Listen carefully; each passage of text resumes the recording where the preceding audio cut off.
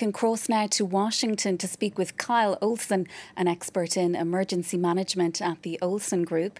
Kyle, we heard there from some people who've decided to stay on in their homes despite the warnings coming from authorities. What should they do now?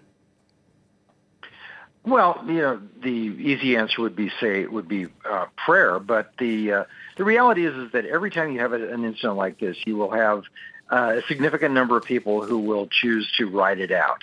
Uh, in many cases, like some of the people you had uh, talking, uh, they've been through big storms before. They probably have water. They probably have food, and they're, they they may very well be in a uh, in a defensible position. But um, for many of the others, uh, you also heard uh, the, the gentleman saying, "Well, we'll wait for emergency services to come and and sort of bail us out." And uh, in that case, it could be a very, very long wait. This storm is massive. Um, but uh, and, it, and it's got very fast winds and a lot of rain, but also it is slow moving. Uh, better, you know, people have compared this to Katrina. A better example might be to compare it to Harvey, which flooded so much of Houston a few years ago. Slow-moving storms are going to dump a foot, a foot and a half, two feet of water, and with the winds coming in, the surge, the tidal surge, rescue is going to be a long time coming, and restoring power is going to be at best days for some parts of some parts of Louisiana, it's going to be weeks. And so they better hang on. And authorities there, Kyle, have said that they're prepared.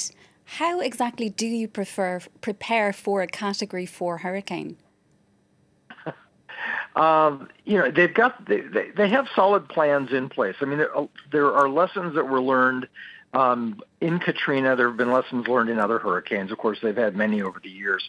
Um, but the uh, you know by prepared, I think they they have a plan. They are organized. They know where their resources are. There's not going to be any confusion about who is responsible for um, for handling various issues such as uh, such as rescue, um, providing uh, food, shelter, uh, that sort of thing. So so in that in that sense, they are better prepared than they were five, six, ten, fifteen years ago. Uh, at the same time, uh, they are, there there are real limitations on how ready you can get for something that's going to uh, close your hospitals, shut down your power, and at worst potentially uh, breach your levees. Uh, in which case, you know you have you have flooding in areas that you really can't afford to have flooded.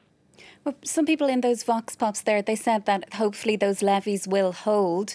Hopefully that will be the case. But what kind of damage are we talking about here potentially? We've heard warnings that there could be storm surges up to five metres or 16 feet in your language. Yes, and you know a, a storm surge of even of even a uh, even just a meter is a, is a substantial amount of water, particularly given uh, how low uh, how low the lands are in in the uh, in Louisiana, the Louisiana Bayou. Um, Louisiana uh, has um, has a system of parishes rather than counties, which is what the norm in the rest of the country. Um, but many of them have evacuated their entire counties or have tried to evacuate their entire counties um, because they know that um, power lines are going to be down, roads are going to disappear, literally disappear uh, with these with these waters coming in. And um, you know, in, in some cases, they're going to come back, and there won't be even any landmarks to use to get around. So the challenge is going to be is going to be dramatic, um, and it's going to take a long time to restore.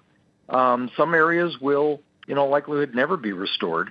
And the one thing that you said before, yes, the levee system was rebuilt after Katrina. It's believed to be much more stout, much more capable of withstanding a uh, the impacts but um, you know, we're going to get through tonight to find out how well that plays out. And Kyle, you mentioned hospitals earlier. Now, of course, this is all happening during the pandemic, and a lot of hospitals in Louisiana they're already full with COVID patients. We haven't had reports of casualties at this stage, but how much of a concern will that be for authority, authorities there? There will be injuries and injuries are going to need to go to hospitals. You said it exactly there. Ordinarily, when you have a hurricane coming in, uh, you evacuate patients away from the uh, the hospitals that are going to be in the impact area. You move people inland. Uh, you get your uh, your people that are not critical um, out, and uh, you you discharge early. When you've got people on uh, who are on oxygen, uh, or on respirators, you don't have that option. When you've got hospitals inland that are that are at, at capacity and and more, with with COVID cases, you don't have any empty beds to move people to. So, watching this, you're right. So far, there have not been reports of, of fatalities or major casualties.